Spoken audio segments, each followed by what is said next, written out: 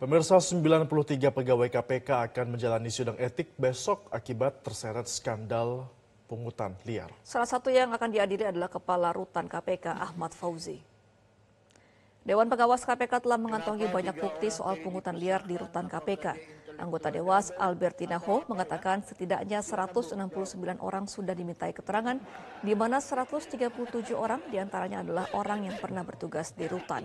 Albertina mengatakan dari 137 orang itu, 93 orang cukup memenuhi syarat untuk masuk ke tahap sidang etik yang akan digelar pada hari ini.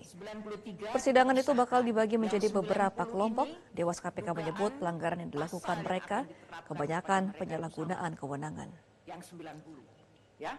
Kemudian yang tiga, yang tiga ini dua dari 93 orang itu kita juga telah mengumpulkan 65 bukti berupa dokumen.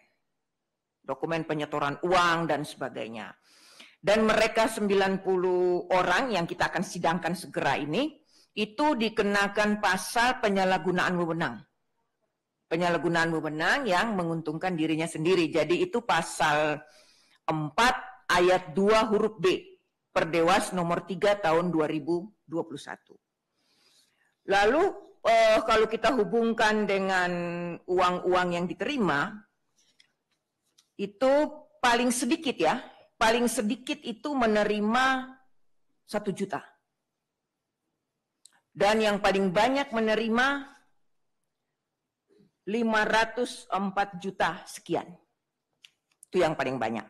Lalu kalau teman-teman menanyakan totalnya berapa, saya ini saya bisa menyatakan yang pasti tidak, tapi sekitaran sekitaran 6 miliar 148 juta. Jelajahi cara baru mendapatkan informasi. Download Metro TV Extend sekarang.